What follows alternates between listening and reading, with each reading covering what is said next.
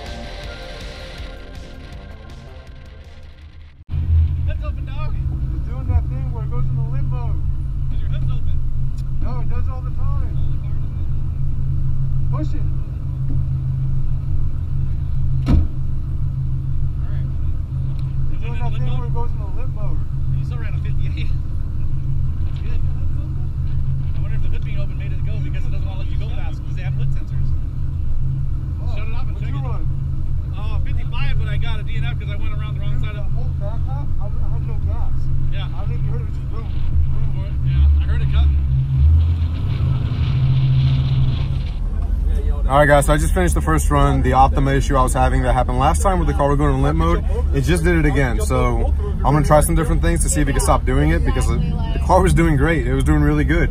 It's just that it just, I lost a lot of power towards that back corner and it's just extremely aggravating. So we're gonna try some different things real quick. And if that fixes it, great. If not, like we just gotta try something else. So I'll keep you guys updated. It's gonna be the second run now.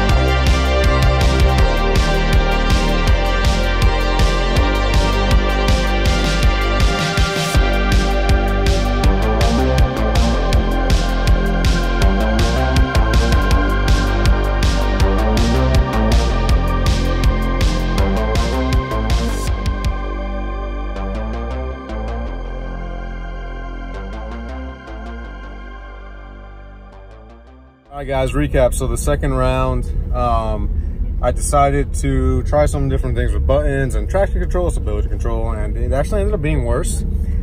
So I ended up just not being in control of the car like I wanted to. Car still feels real gripped up, real good. I just, everything was really delayed. Didn't like it. So um, what I did on the third round was, because what's happening is when it goes from uh, second to third, is it goes into limp mode. It hits the rev limiter and just goes into limp mode and dies and it'll stay in second and you only go up to 2000 RPM. Same issue I had Optima Nola.